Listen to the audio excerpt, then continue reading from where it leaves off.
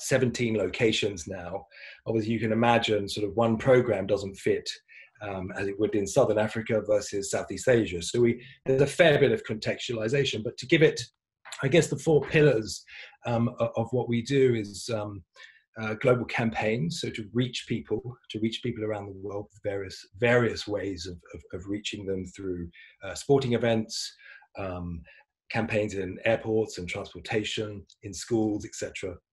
Um, we run hotlines around the world. Um, hotlines are very important because they uh, procure the information that we need to, to, be able to do the triage for intervention. Um, and then we also run uh, a forensics facility, mainly in Southeast Asia for children called the CAC, um, which is about collecting a really robust um, witness statement so that the, the, uh, the accused can be sentenced correctly. And, of course, the care and the holistic care that's required for that child thereafter. Um, and in addition to that, in our aftercare piece, we, uh, we run something that we've coined the phrase a freedom center. Um, you know, in many, in many cases, uh, you know, we over the years we've realised that institutionalized care doesn't really work as well as um, having the focus of giving someone independence. And so a freedom center really exists in close proximity to where a victim may be uh, residing. And sometimes we prepare uh, places for them to live with their children. It'll be foster care. Uh, if they're adults, we, we, we, would, we would rent them a, place of their own. Um, and then they come to the Freedom Center to learn new skills, sometimes very basic skills, and then also just really to get them back on the path uh, of independence and to give them to give them their life back holistically again. Got it. Hey, Christian, let me ask you a quick question. Uh, just a side note: Forensic Center. Uh, can you just share for a minute what a forensic center is? Is it just merely collecting witnesses, or what else do you guys do during in this forensic center? Well, I mean, it's sort of filling a gap where you know, as a, I think it's important to say, you know, partnerships are very important in in everywhere we work. Um, but it goes back to uh, uh, you know previously in Thailand there weren't really many convictions um, when it came to child trafficking, and that was mainly down to the fact that the witness statements were usually incorrect or that um, um, they were you know children you know they don't necessarily remember things um, in in perfect uniformity. You know they need they need special care and they need um, specially trained uh, forensic social workers to be able to take them through a process.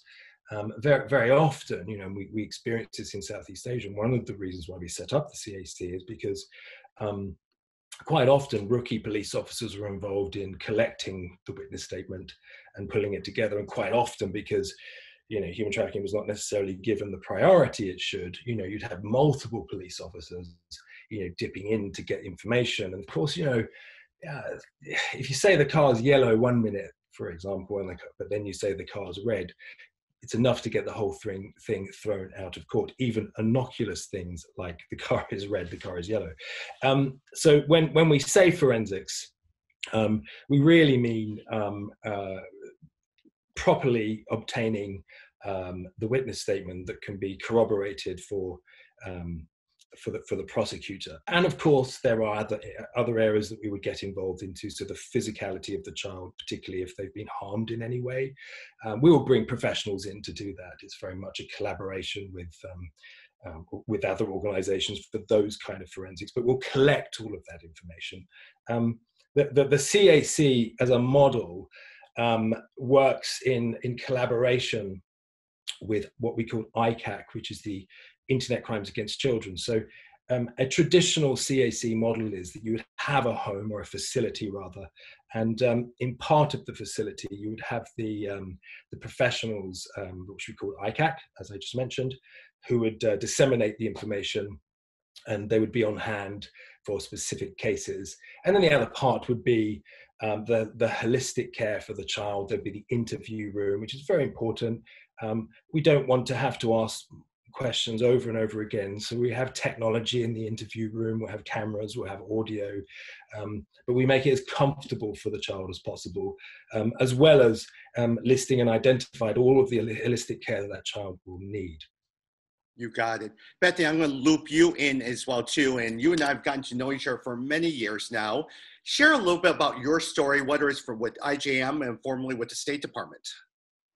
Yeah, so I started working on the issue of human trafficking um, really when I was in graduate school, um, about 2002, February 2002. I had no idea that it existed until I saw a poster that a woman from the Salvation Army had put up in a hallway in my graduate school cafeteria. And it was just, it, it took me aback. And I put my name down on the mailing list and asked her, What is this? What do I do?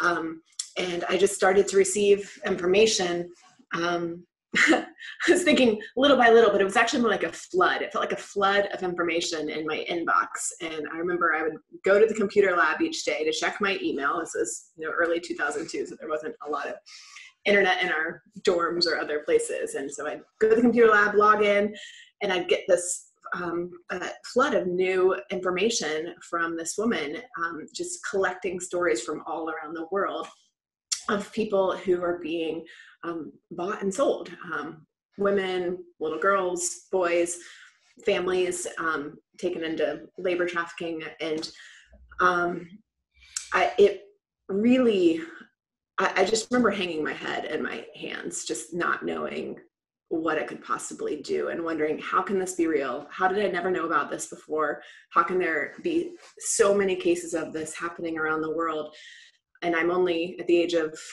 what I think 23 back then, just now figuring, finding out about this, and it's completely overwhelming, and it's really some of the darkest things I had ever heard or seen in my life.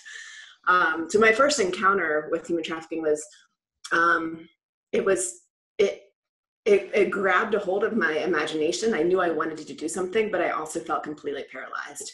Um, I just felt like there was nothing I possibly could do. But that flood of information really uh, started to help guide me and um, helped me realize that this was something I wanted to know what to do about. And it really came through connection with others. I, I learned that when you start to connect with other people who are willing to also learn and to acknowledge what they don't know, um, but figure out together um, how to know more and how to move forward and how to take action, um, uh, things start to change. And so for me, it started by um, beginning to work with an organization called International Justice Mission. Um, and along the way, actually through my work with IJM, I met a woman named Christine Caine. And um, she, when I met her, was in the early stages of founding this organization called um, the A21 campaign and it and that connection with her really became a, a really significant encouragement to me um, to to want to stay in this fight over the long haul to realize that you know we're going to take on a really giant evil in the world. There's there's i can't think of any uh, you the darkness of trafficking can't be over dramatized it cannot be um, we, it can't be um, it, it can it can honestly be really crushing. And there have been so many times over the years where when you really start to understand what trafficking is you want to figure out something else to work on instead.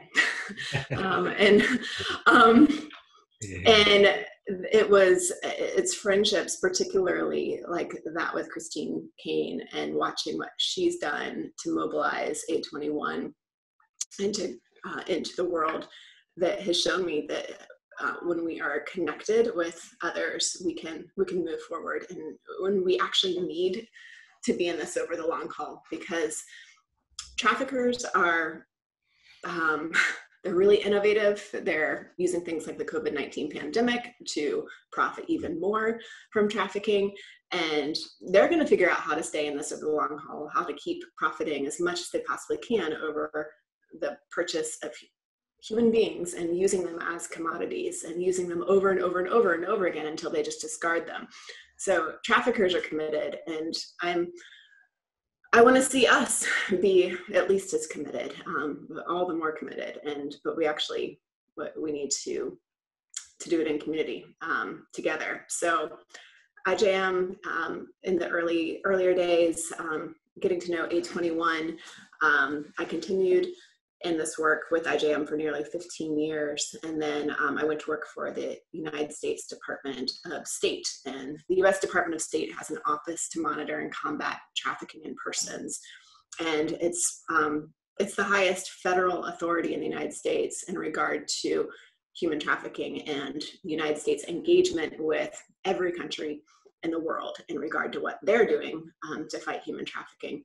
And um, I served for a while with the State Department, and it was just incredibly eye opening to get a view into this issue truly from a global perspective um, and to see just how much progress actually has been made. Um, the United States um, opened this office at the State Department in 2000. So um, really this, this issue is new for uh, on the world stage as a whole, including for our own country. But we've put we've had 20 years now in this movement, and there's been an incredible amount of progress. But at the same time, we're at the beginning. This is still the very beginning, and there's a, a lot ahead of us. And I'm really excited about the possibilities ahead, especially after um, this season of having worked with the State Department and um, seeing what's been done and what's left to do, but also seeing just the incredible organizations that have risen up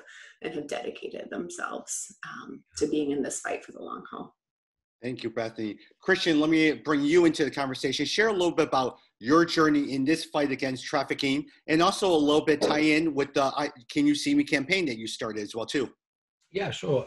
Um, well, the short story is, I mean, a bit like Bethany, I was just horrified with the things that I, I discovered, knowing that nobody really knew about this. And that was back in 2004, 2005, um, which, uh, which, which led me to uh, work with some great people to start an organization. Sorry, not an organization, a campaign called Stop the Traffik. And uh, that kind of, you know, I knew nothing about it. I mean, I just knew I needed to do something. And I sort of, you know, speaking about trafficking was like speaking into an echo chamber because it just really, really just people didn't believe it to be true, you know, and it was we're talking we're talking staggering amounts of people, and and I was just thought horrified. How how could we not? How could people not know about this? And so, you know, that campaign was was amazing, in that we got you know pre Facebook, which is I think really impressive, a couple of million signatures. It put trafficking on some kind of agenda within the UN um, and in within the British government as well, which meant that. Uh, more priority was given to it, was given a bit of a platform. And that was on the, the 200th, uh, the bicentenary of the um, abolition of the transatlantic slave trade, which was spearheaded by Wilberforce.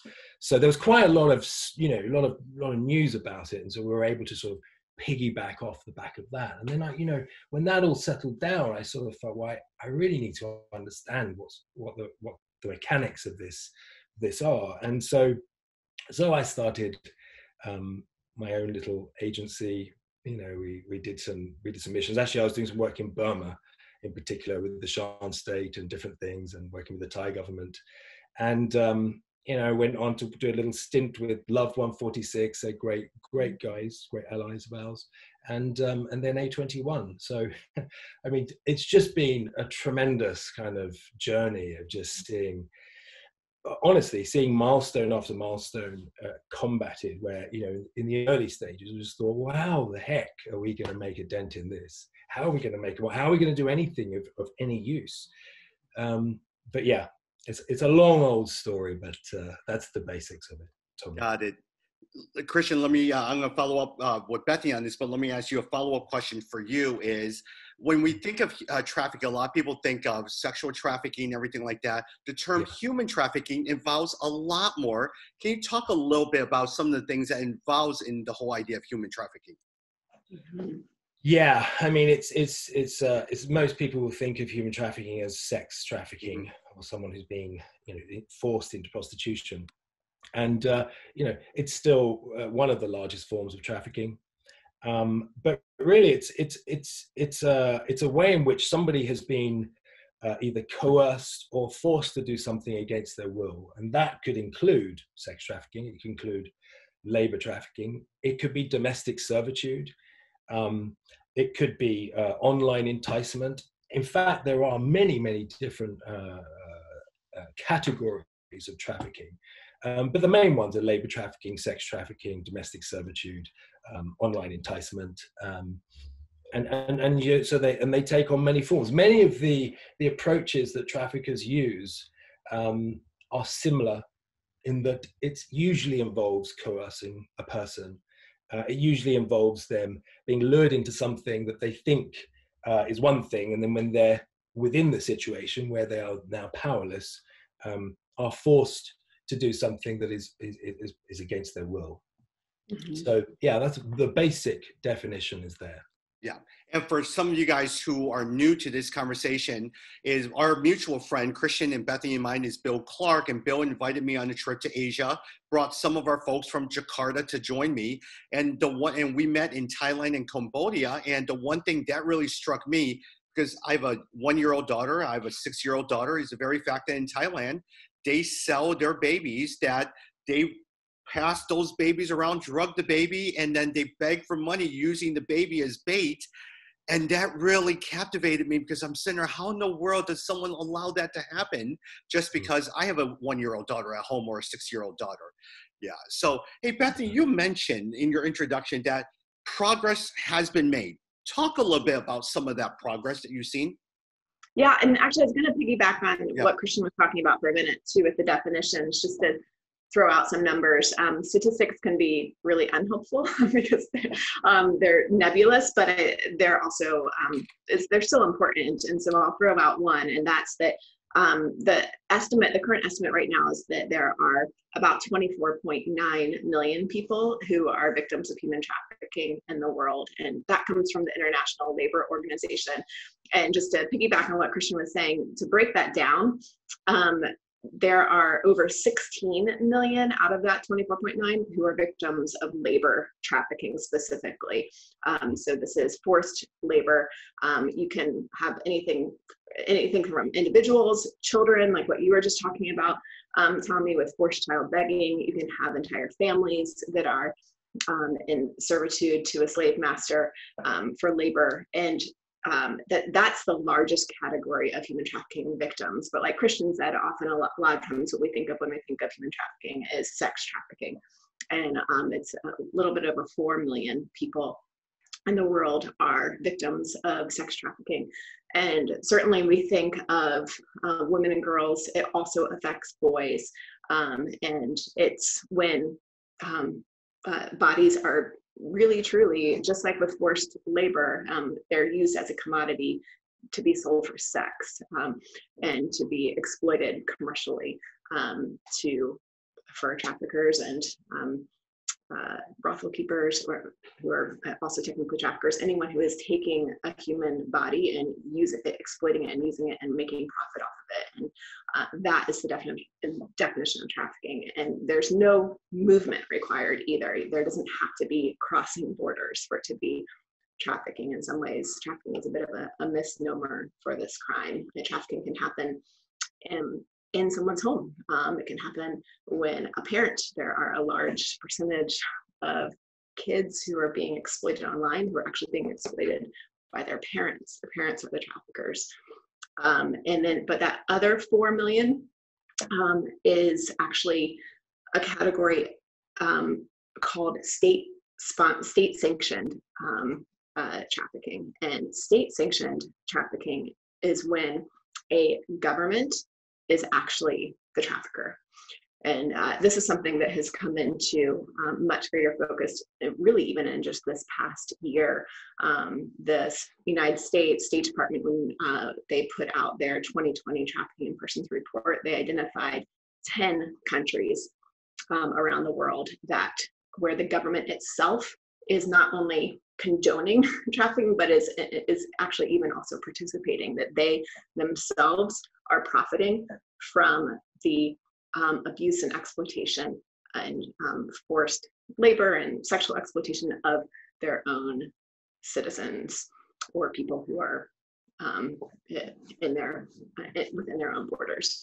And so I just think that's a helpful to get a sketch of what trafficking looks like right now um, and this, this breakdowns and um, particularly wanted to highlight that issue of um, uh, how we're seeing governments as traffickers as well right now. But back to your other question, uh, Tommy, you wanted to, you were asking about progress. Yep, progress made.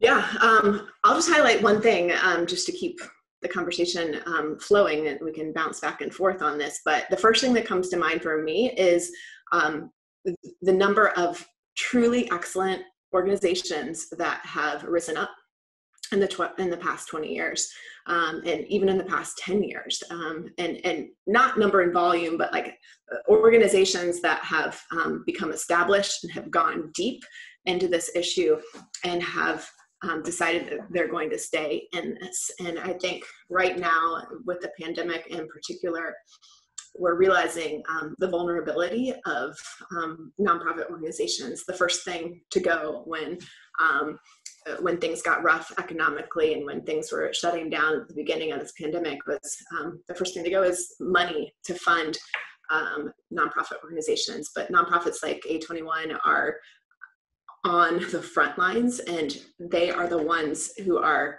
um, interfacing directly with victims of human trafficking um, with law enforcement.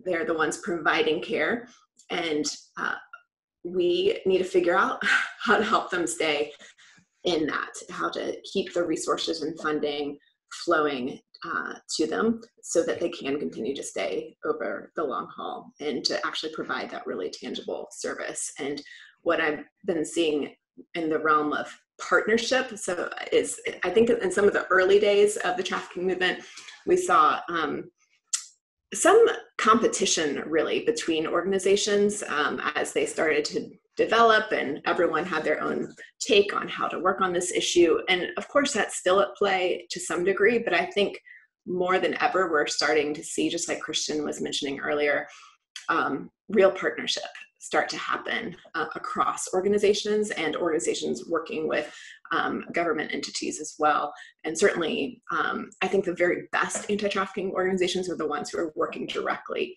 with um, law enforcement and um, to, uh, to, to attack the problem from the source and who are also working um, really diligently to, to train and equip um, social workers and care providers for um, after survivors have been rescued. And so that I think the just excellence of uh, people rising up and committing to stay over the long haul and committing to work on it together to find solutions um, rather than in silos. That's a huge sign of progress. You got it, Bethy. Hey, Christian, let me ask you a quick question. She mentioned a lot of times when people think of human trafficking, immediately your mind goes to somewhere like Asia, where a lot of it is taking place. We see that in Cambodia, we see that in Thailand as well too. As you travel around the world, where are some of those hotspots? Do you see a lot of those situations in US? Do you see it in Europe? Do you see it in Russia or Asia or Africa? Or is it across everywhere? What were your some of your feedback on that? Yes, where do you start with that? I mean, the, the reality is it is everywhere. And I think just focusing on the US for a moment, um, um, there, there, used to be this sort of notion that perhaps it isn't uh, in the backyard, whether it be my country in the UK or the US. And I think people are beginning to realize that's actually probably not the case um, as people are becoming more aware, which is, which is really powerful. Um, but, but no, I mean, I, I mean, I've seen I've seen some horrendous. We as A21 have seen some horrendous cases in in uh, in the US, um, uh, in the UK. Um, it's been it's been predominantly for many many years. It's been hidden, and it's only through um, uh, the the the work of NGOs and actually some, some some of the government agencies that people are beginning to to see this now. They're beginning to be aware that perhaps what is hidden is in fact in plain sight, a, a, a, a phrase that we use a lot now. And I think, um, and because and because people are starting to see it, they're starting to see things in their own community and their own neighborhoods. And I think you know everyone has this sort of innate sense of suspicion um, that when something isn't right, if you see something and it just doesn't feel right, chances are it isn't. And I think that the shift has been um, through through all of the activities of NGOs around the world um, to to create awareness is that people are actually tapping into that that doesn't look right in my community. That lady who brings out the trash once a week in New York, um, in my apartment, doesn't look happy. Something's not right there. I only see her when she brings out the trash. Oh, and then the other day she had a black eye. The kind of things that perhaps you may turn a blind eye to, but that you know, very very often you see domestic servitude, you know, right on your doorstep. It doesn't matter where you are. And um, I, you know, we have seen a massive increase in in calls and reports from everyday people who have just got an inkling that something's not right and, and are seeing it in the neighborhood. And it's not Asia, and yes, it is in Asia, but it's not just those countries. It's literally everywhere. I don't think there is a. I mean, someone told me Iceland, Iceland, they haven't had any cases, but I mean, I don't even know if that's true. But I, I, we've seen it everywhere, literally everywhere. Got it. Hey, Bethany, a question came in from someone as a follow up. They said, You mentioned that some people are profiting during COVID 19. Can you talk a little bit about that? Yeah. Um, I'll just get back to that, just the core point that traffickers are. Um, they're innovative. Uh, unfortunately, they are constantly trying to figure out how to maximize their profit and how to make the most out of any given situation and um, to to go after people and exploit them. And in covid-19 um, with uh, many uh, so many children uh, learning at home i'd love to hear christian talk to this because i know that christians um, and a21 have been partnering really closely on this issue in particular but um, data still has to be uh, verified over time. The pandemic is still relatively new, but um, it's quite clear that there's a, a, real surge in the amount of um, uh, uh, videos and images that are being put online of children and of children being exploited um, directly. Um, it, it was already happening before the pandemic, but it, a direct increase during the pandemic. And there's just a, an incredible vulnerability to children who are no longer able to be in school or have the attention or to be seen by their teachers and administrators who care for them and see them. And they live in vulnerable homes, and their homes already weren't safe. And now they are only at home and they're vulnerable like i said before about um, parents and family members or close friends of family who are in far number far greater numbers than we would ever like to admit who are themselves the traffickers, but also predators who are coming in through gaming platforms or social media who are seeking out children who are vulnerable. And uh, we're just seeing a, a real, a very significant surge in this problem. Uh, I'll turn it over to Christian. Yeah, really, really good point. I mean, we've, um, well, two things on that off, off the back of what Bethany's just said. I mean, you know, we, you know, we used to think of the playground um, mm. as a place where we should protect our, our kids, a physical place, but really the digital playground is the battlefield now. Mm. And, um, and to and to illustrate that, there, there are so many things we could talk about, but we we produced a video that people can can watch actually on uh, uh, a21.org forward slash can you see me if you click on the us and then click on online enticement you'll get the video there where you can you can watch it we've recreated a story, but in, in essence, uh, that's that story was a true story. It was a, it was um it was actually a 12 year old boy, and um, he'd been uh, gaming o- online, met a friend, and uh, he thought was a 13 year old girl, and uh, turned out to be a 40 year old man. And to cut a long story short, they uh, you know within a game you have these privileges and hacks where you can get to the next level, right? And um, so the friend uh, who is a is, is actually enticing this little boy uh, said look i'll give you a cheat and hack to get to the next level. Just take your top off. Something fairly innocuous. Of course 12 year old brain thinks oh okay i can i can do that. Takes his clothes off uh, his top off gets the cheat and hack. You know where i'm going with this. Well i'll give you the next cheat and hack but can you take your trousers off and your and your and your, your underwear? Which he then does and it gets es- escalates to the point where it becomes indecent, really indecent. And in this case, this little boy was told by um, this this uh, perpetrator to get his little sister in the room, who was eight years old, undress her and perform sexual acts on her. He said no, um, and then the perpetrator revealed himself, showed all the images that he had collected of him, and said, "If you don't do it, I'm going to put it on social media, and, and your family are going to find out. So he's eliciting control over this little boy. The little boy jumped off the balcony and killed himself. And that was the reality, right? And then when the police followed the line of inquiry, that perpetrator, um, it was actually two accomplices, both in their 40s. They had done this to 175 other little children in the UK. And here's the here's the thing: when the police knocked on the door of all the parents to to uh, to, you know, to to tell them, none of the parents knew. So the work that these people do to our kids on the digital battlefield, the playground, is unbelievable. The way that they can entice these kids, coerce them to silence, and then abuse them uh, mm-hmm. perpetually. Now, to your point about COVID and the lockdown, etc. Of course, young kids were online before, but that as Bethany said, they're all online all the time now, and uh, and so are the perpetrators. And um, uh, to, to we don't, as Bethany said, we don't have uh, all the the full picture yet, but just some evidence of um, of the increase would be, I guess, ICAC you would normally have, and I don't quote me on these numbers, roughly they have about 1,600 to 2,000 cases per year. Up to this point in time, they have over 6,000 cases that all relate to these kind of incidences. And um, the hotline, NCMEC, the National Center for Missing, Missing and Exploited Children in the US, mm-hmm. their calls went up by 90%. We're yet to see what that leads to.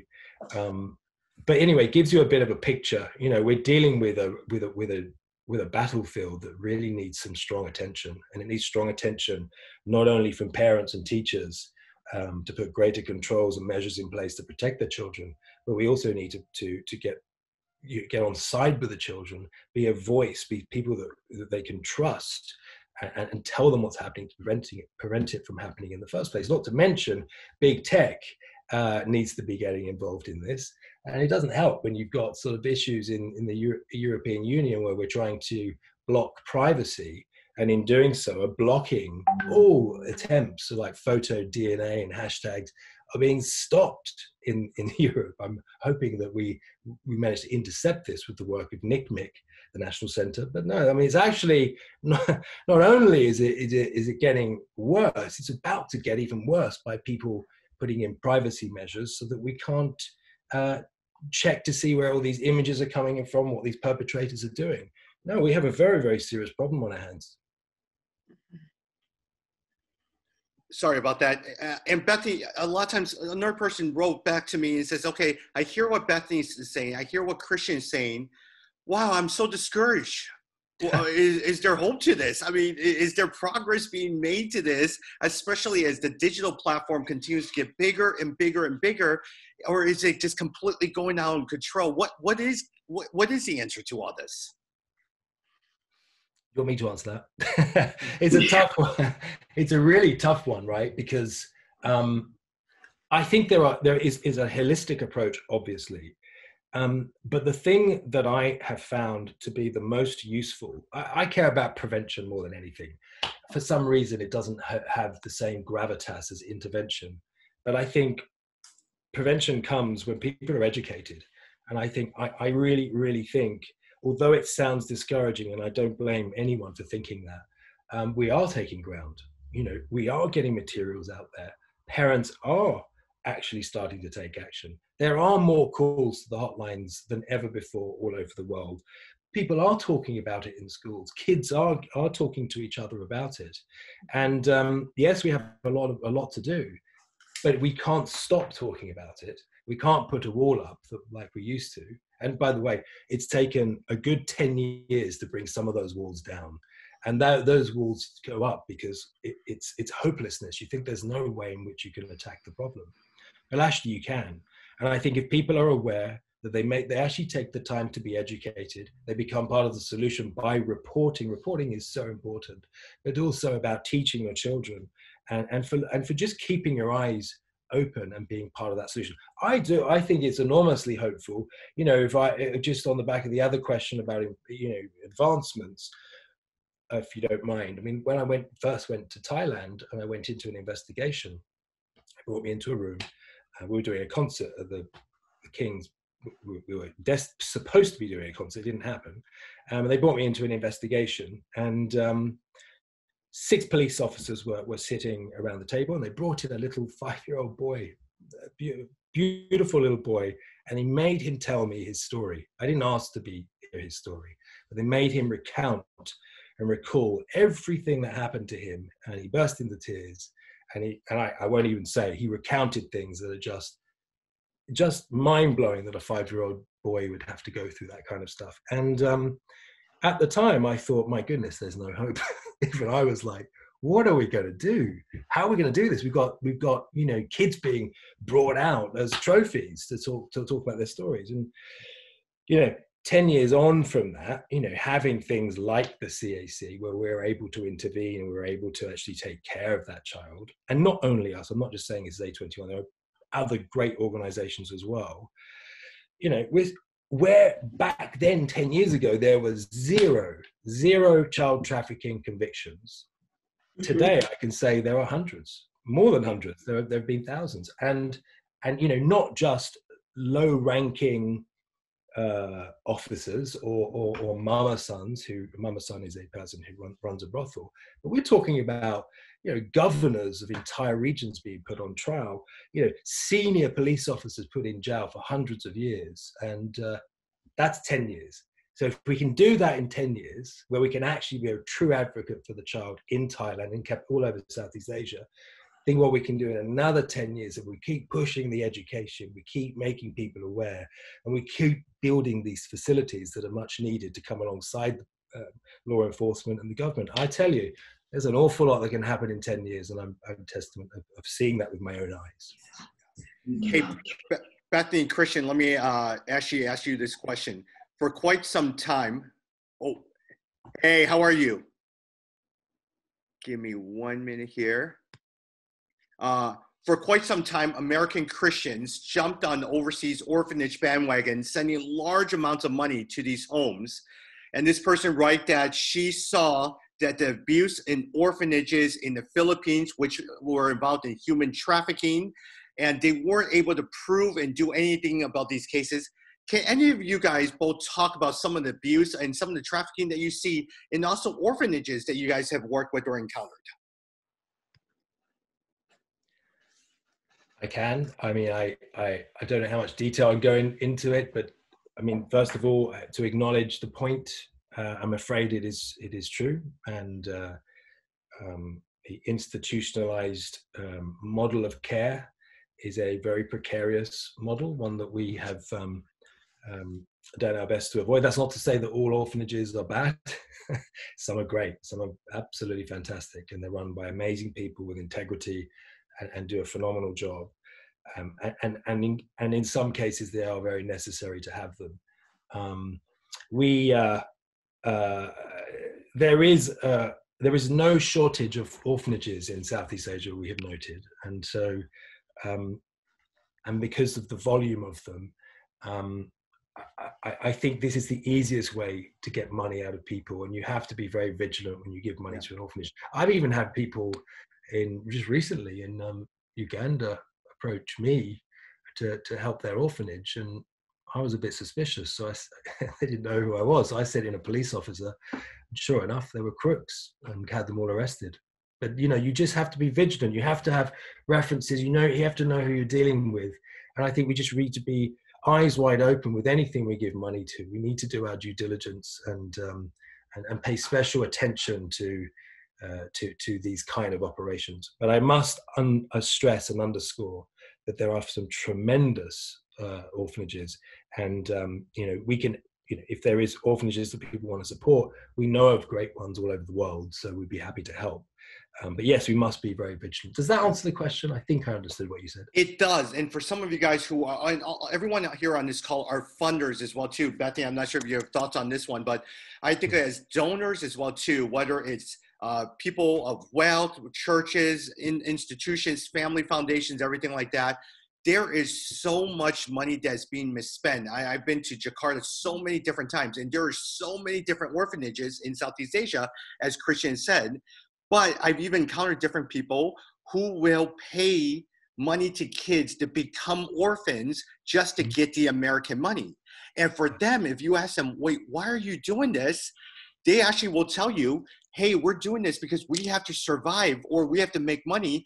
And you Americans give money to these orphans, and we're just telling you what you want to hear to get us money they don't see anything wrong with it in some of those things because they said we're starving, we're struggling, and so as a result, we do all those different things to be able to do it. So we just have to be smarter with our money because many of you who are here on this call, you're on this call because you're very generous, not only with your time, but with your money. But with that, give your checks and balances. I see my friend Tamara on this thing is I've realized that you've got to work with local, younger, or local business leaders, many of them who are not dependent on your money to help them and allow them to be your checks and balances as well too. Bethany, any other thoughts before I ask you a separate question?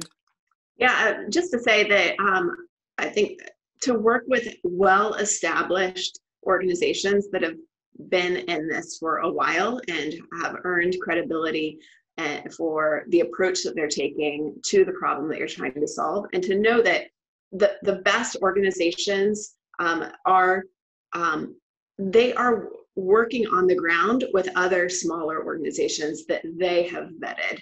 So you don't need to feel like but i don't want to um, I don't, certainly there are organizations that are small and need us to give them a chance, but especially if it's in a different part of the world and you're not familiar with that country or the way the government works or how to report, um, work with a well established organization in that um, country that is going to be um, doing the vetting themselves on these smaller partners that they're going to be working with to get their work done, um, if that makes sense. And so, uh, just to make sure you're um, I think it's always helpful for us to realize the limits of our own understanding and to have a humble approach. Um, sometimes we look at these big problems of the world and we we want to be the hero. Honestly, we might not say that to ourselves, but um, often the solution that we're really looking for is like the one that makes us feel closest to the problem. Like we're really the linchpin. Like we're the one who who did it. And um, and yes, there is some narcissism in that. And I think all of us uh, can um, fall prey to that. And, um, but the, the, antidote is humility and looking for, uh, for well-established partners who are also approaching this work from a posture of humility and of partnership. And um, to realize there are really limits to what any one of us can do, but to make sure we're constantly sharpening ourselves in connection with others. The uh, Christian, we actually have a time, but I want to squeeze in two more different questions that I want to then introduce Gary Gois to you guys. Is one person right? How do we, and Bethany or Christian, feel free to answer this. How do we more deeply engage the business community to address the uh, uh, let's see, understand and address, especially as we talk about supply chain and human trafficking. Let me read this again. How do we more and deeply engage the business community to understand and address as we look at supply chain and human trafficking? Would you like to go first, Bethany?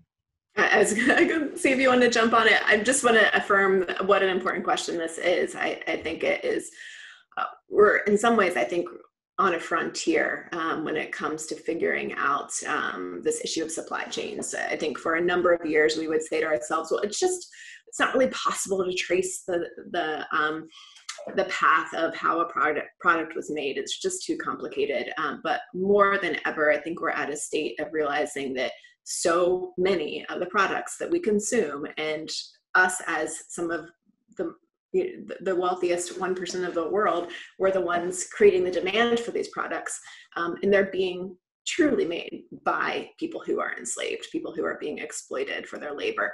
And um, we need to figure out this problem. And there are governments who are starting to work on it and there are businesses who are starting to work on it um, but there we need a rallying cry for for more of it um, and for um, business and uh, government partnership to work on the problem together, particularly in the countries where there are over 4 million people, like we talked about before, uh, people who are actually being trafficked by their own government. That's the hardest nut to crack, so to speak, is um, to figure out in countries um, where the government themselves is sanctioning the state sanctioned forced labor. They're sanctioning um, the exploitation of their own people for the uh, for making goods and products that all of us use every day. Um, we need we need to get in on that and figure out how to solve it together.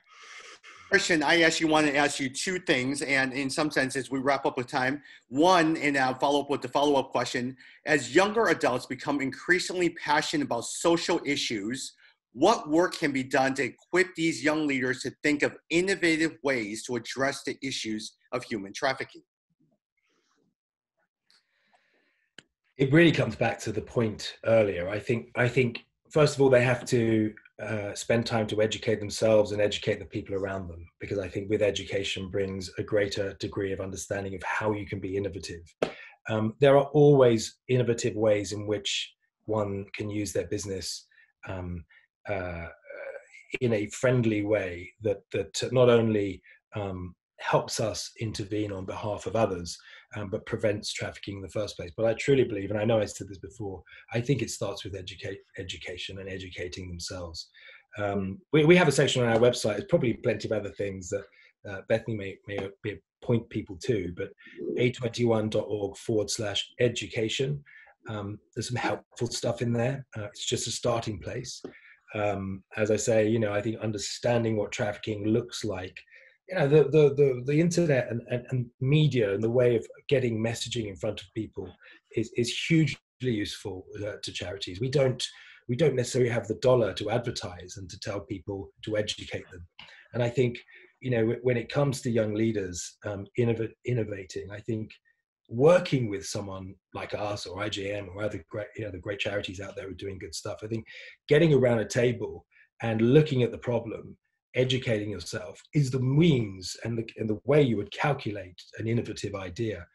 Honestly, organizations like us and AGM, IJM, we already have ideas that we want to innovate that if we had the finances and the resources available to us, we could do it and we could we could we could make a huge a, a huge difference. So I would say, yeah, step number one, take some time to educate yourself about the issue and people around you um, bring the ex- experts who are dealing with this around the table and brainstorm um, of what you can bring uh, and how you can innovate together because i you know quite often people say to me oh what can i do christian i don't know because i don't know you very well but i would love to spend time with you and maybe we could brainstorm a specific idea that relates to your business uh, to relate to your world and and come up with something genius that's actually you know really impactful every time I've done that, every single time, there's always been a tremendous result. But it takes the time, it takes the effort, and we need to unpack what it is that you, you're interested yep. in, what your reach is, what you're doing, and what and what we do, and how we can offer um, our lens into the problem. Does that sort of half answer the question, doesn't it? It's not an easy it, one, I'm afraid. It does, Christian. And as I look at some of the people who are on this call, I recognize some of the names. Each one of you guys have certain skills. Each one of you have certain gifts that you bring or certain passions that you have been gifted in. How do you use that, especially in your jobs, whether it's in branding? Some of you guys have it. Some of you guys are running nonprofits. Some of you guys have media companies, all of that stuff. How do you use those skills to really be able to engage and do good? And so, Christian, before again, before I bring in Braden Gogus in, talk a little bit about freedom uh, centers, and then it ties in with what I want Braden to share about. Yeah, sure. Well, the, the, freedom centers are very important. As I was saying earlier, we, we don't go for the institutionalized care model, um, but we want to get people on a, on a path of independence. And, um, and so the, the, the early idea was that we would take a facility in a city or outside of a city. Let's take um, Sofia, for example, in Bulgaria, where we, where we do have one. We have another one in South Africa and other places in Greece.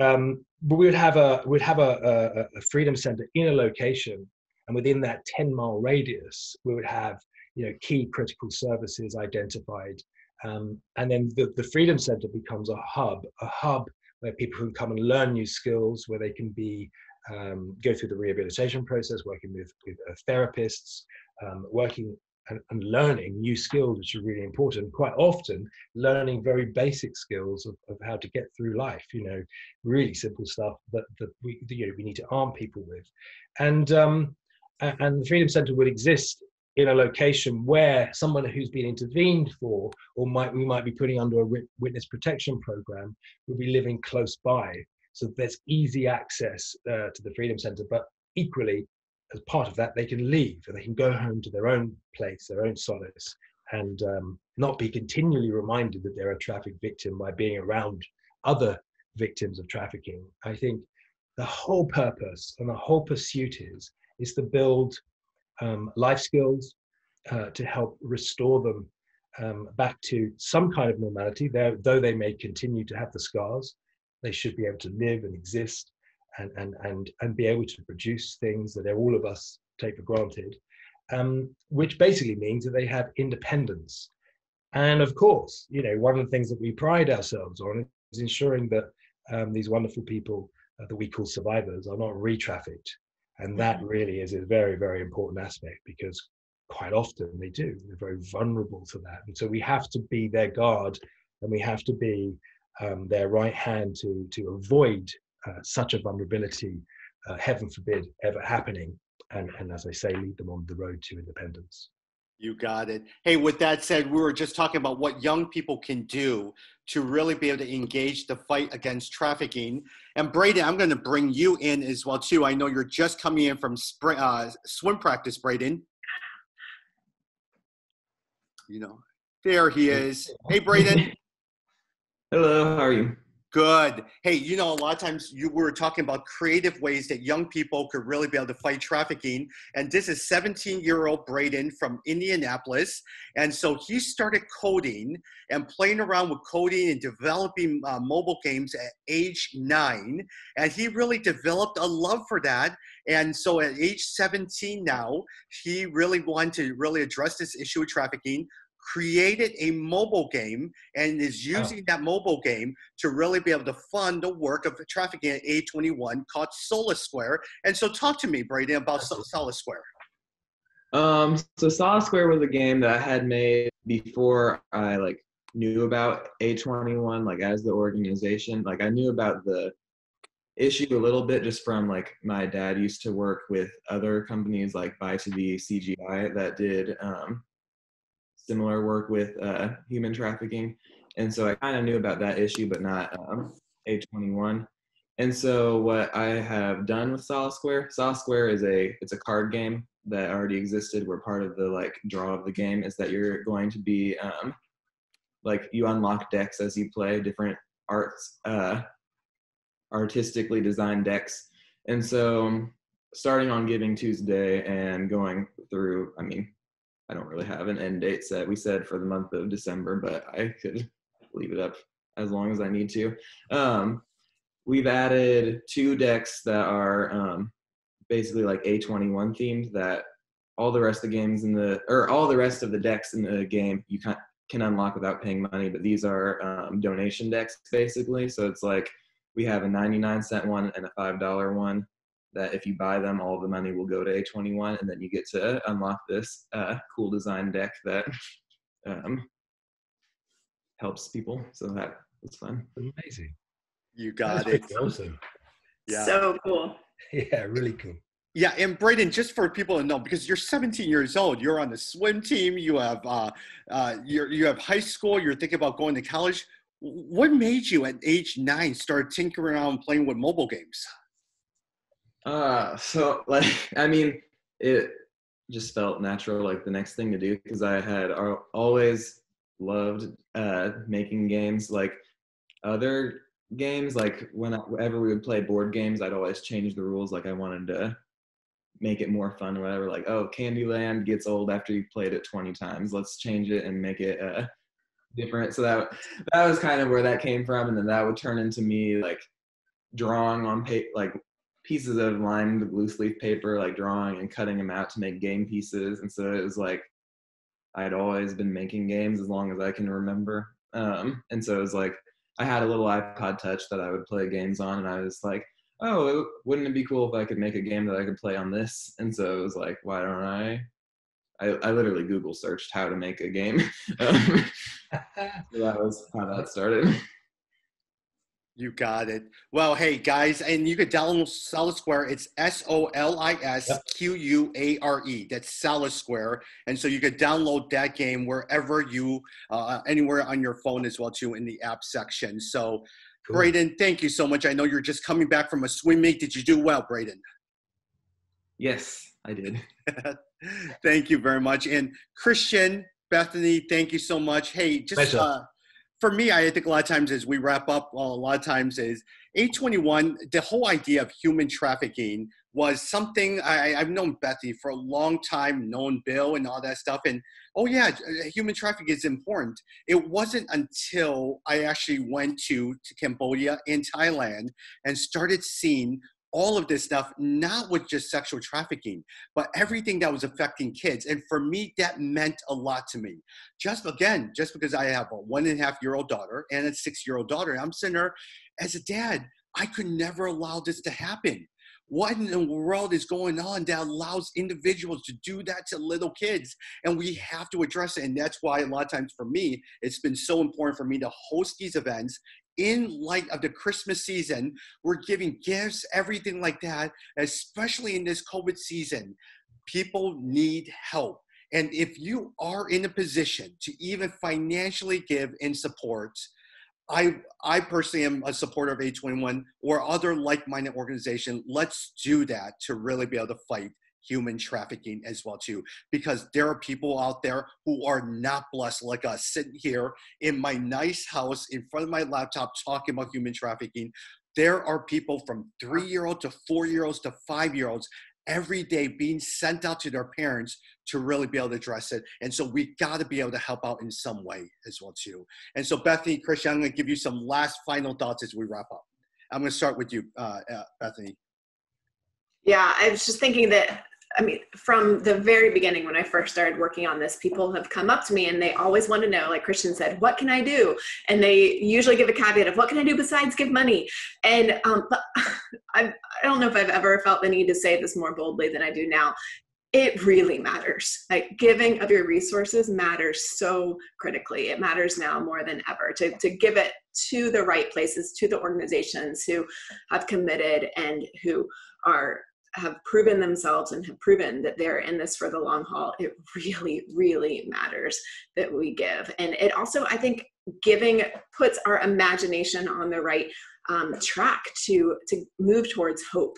Because um, certainly awareness uh, awareness is so important and it can be overwhelming like the um, the uh, listener who asked the question about you know what do we do? This is really crushing. It, it is but there actually is incredible hope to be found in this work. And the more aware you become of the the evil that's at work um, there's also opportunity um, all the more to know of the good that is happening and to to know that there really is incredible hope to get those stories in front of your eyes. And i think A21 uh, the work that christian's doing in particular he hasn't told you this but he does really beautiful work. And if you go and watch some of the videos that A21 has put together that christian has um, ideated and produced it, it's it will get your heart and your imagination working in the direction of hope to see what's possible um, because there really is just incredible um, progress and rescue happening every single day and we need more of it and the way we can do more of it is through um, the commitment of resources from every every single person who is finding about this issue to give what they can and to get engaged. And you'll find out quote unquote what else you can do along the way for sure. But i think uh, honestly giving is an a, such a critical entry point. You got it. Christian wrap us up as we wrap up here yeah amazing well look i mean i'm really just echoing what you guys have already said you're absolutely i couldn't agree more um, but i think you know braden my man, you're the gold standard. I mean, this is this is what it's all about. If people could be like you, my friend, yeah, and, uh, take the initiative and um, be super innovative. I mean, goodness me, ten years from now, we're going to clean up. I'm telling you. So, Braden, thank you, and just super mm-hmm. congratulations with everything you've done. We certainly appreciate it, but I think no better way to wrap up than to take your example of taking this initiative. And uh, honestly, yeah. guys, if, if we can all be that innovative and care, uh, don't underestimate what you can do. Don't underestimate what you have in your hand, what you have within the realm of your um, your your circle of influence of, of your your skill set. Whatever you have, use what you can and uh, be innovative with it. And also reach out to us and, and others uh, who work in this space and you know bounce ideas off of, off of us, and we'll gladly be there to to meet you and to to talk with you and, and help you through it. So yeah, I just want to say last word, glad. Braden, thank you very much. Gold standard. Let's be innovative, and I think we can do an awful lot ten years from now. Thank you. And Braden, I, I, think a lot of times I have behalf of everyone over here, a lot of times is I bet you everyone here is a little bit older than you. You have a certain gift and you steward that gift well and continue yeah. to make a difference in this world. And I hope all of us here in our own sphere, in our own way, will steward that gift well. And so happy holidays. Thank you so much, Christian. Uh, good afternoon, Bethany. Have a good morning. The rest of you have a wonderful morning and happy holidays to you. We'll talk soon.